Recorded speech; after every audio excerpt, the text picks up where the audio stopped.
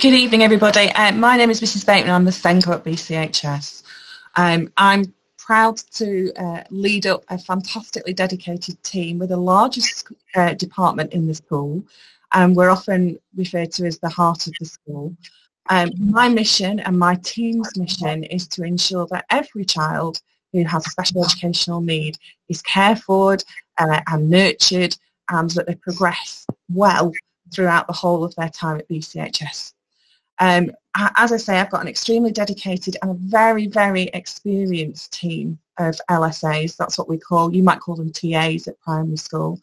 Um, a question that I often get posed by incoming parents is, what level of support will my child get if they currently receive one-to-one at primary school?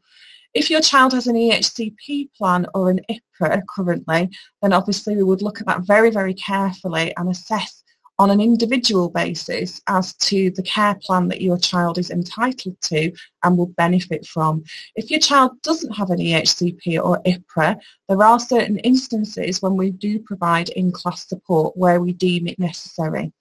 Um, the way that we gather that information is quite a long and involved process which involves you, the parent, discussions with you about your child because you know them best, um, discussions with your current primary school SENCO uh, we usually conduct visits to primary schools in the spring term um, and we have uh, very informed discussions with your child's class teacher and their SENCO as to what they're going to need in order to transition successfully to secondary school. Um, as I say, we do pride ourselves on the, the quality of care and the level of support and wraparound care that we can offer. Uh, we also offer a full complement of intervention classes that often take place during form time, such as reading, writing, literacy, numeracy catch-up, social skills. Um, we also run a homework club after school um, so that our SEN students, if they need any additional support, uh, in their homework that we can offer that through our LSAs.